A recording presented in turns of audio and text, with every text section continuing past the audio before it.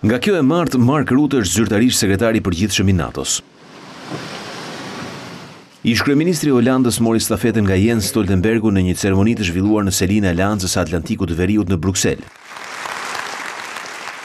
Rutte merr postin më të lartë të NATO-s në një prej momenteve më të vështira gjatë gjithë ekzistencës së kësaj aleance prej shtatë dekadash e gjysmë siç është lufta ruse në Ukrainë. Konflikti rrezikon të shpërthejë përtej kufijve të Ukrainës në ato të vendeve të NATO-s për t'u shndërruar në një përballje të madhe me një fuqi bërthamore si Rusia në një luftë të tretë botërore. Pesëdhjetë e shtatë vjeçari dha dorëheqjen në korrik pas katërmbëdhjetë vitesh si kryeministër i Holandës, duke qenë edhe më jetëgjati në këtë post në historinë e vendit. Si kryeministër, ai ishte një prej mbështetësve kryesorë të çdo nisme të furnizimit të Ukrainës me armatim perëndimor për t'i bërë ballë sulmit rus, edhe pritet të vazhdojë me linjën e pararendësit të tij Jens Stoltenberg që e mbajti këtë post për një dekadë. Pasiguria më e madhe e mandatit të tij është fitorja e mundshme e Donald Trumpit në presidencialet e nëntorit në Shtetet e Bashkuara, kandidati republikan është skeptik ndaj NATO-s dhe kundër mbështetjes ndaj Ukrainës.